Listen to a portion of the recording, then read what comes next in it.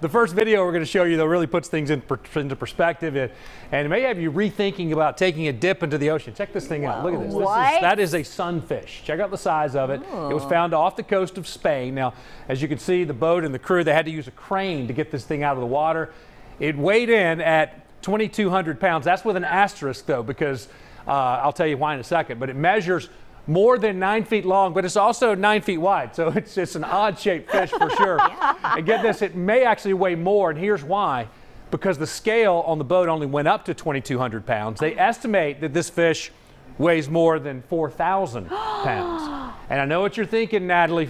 I know what you're thinking. What? You're thinking about sunfish fillets on the Big Green Egg this weekend, right? Oh no. God. He's they not they threw it back after they did some weighing and some testing. Okay. Okay, good. Thank goodness. That thing's creepy. Yeah, he's not cute. I mean, sunfish sounds like it'll be this pretty bright tropical Right. something or other.